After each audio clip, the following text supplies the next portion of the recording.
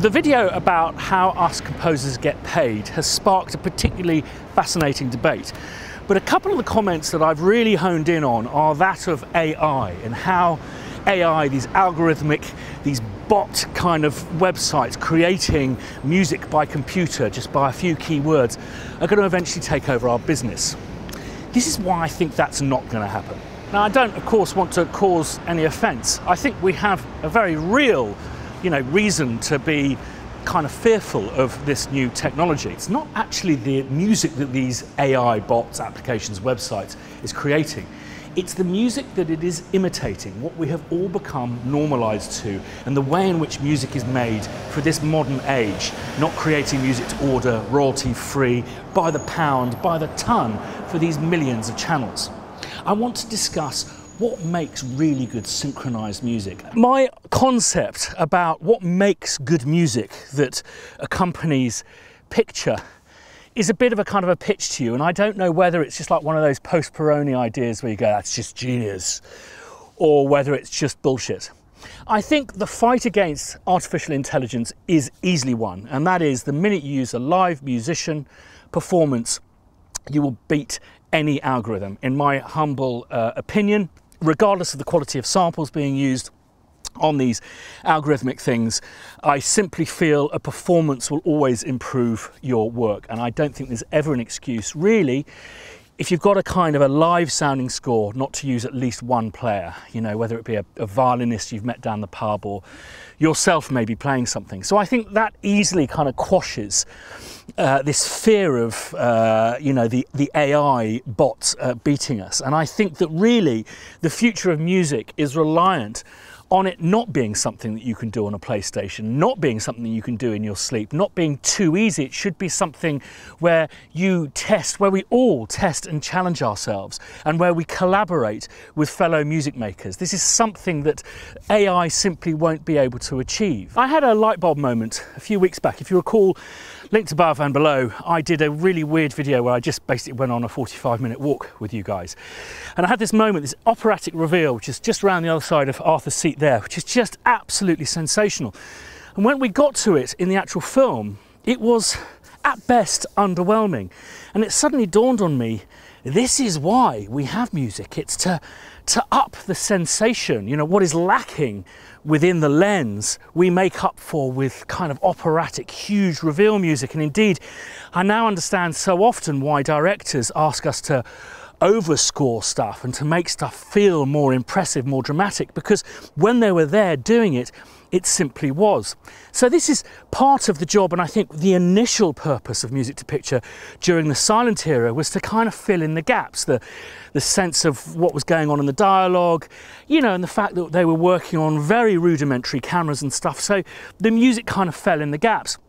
And when that chap, Bernard Herrmann, our Jesus, came along, he was very much being introduced the world of music for picture from the kind of silent age. The fellow composers he was working, you know, alongside were very much of the silent thing, so kind of helping describe what's going on. Bernard Herrmann, conversely, came from the radio tradition, and with his kind of very experimental mentor, Orson Welles, started us all on a road to really turning music to picture from a kind of necessity of filling in the gaps to something that I think took it into an art form.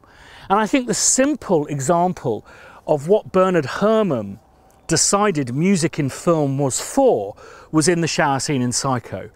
Now, I think his peers would have uh, scored that in a very dramatic sense of look at the horror of what's going on as an observer, as a describer.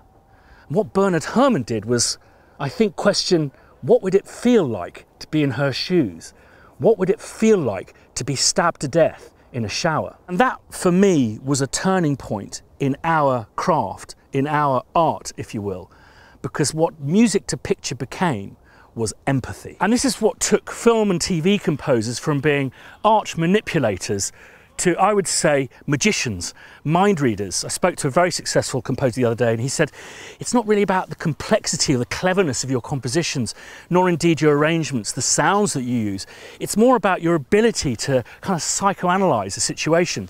And I suggested to him that really good film music is about explaining the context and the consequence of any given scene. Why is that person motivated to do the thing they're doing?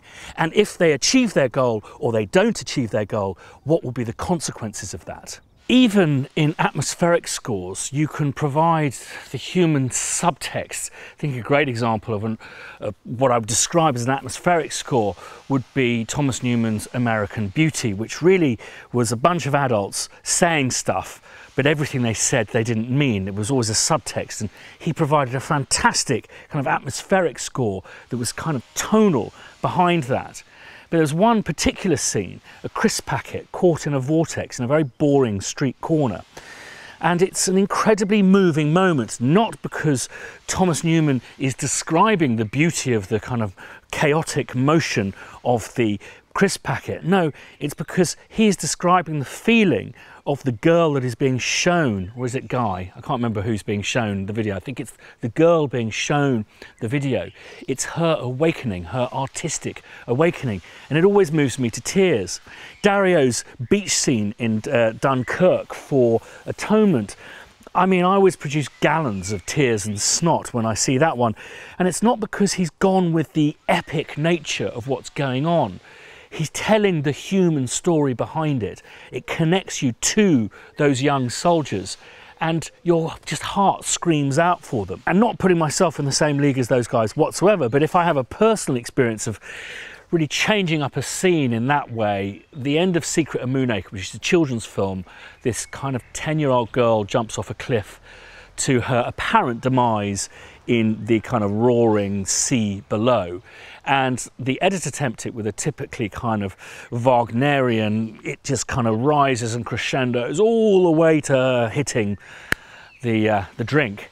And um, I decided and requested the sound department pull all the sound at the point that she leapt off.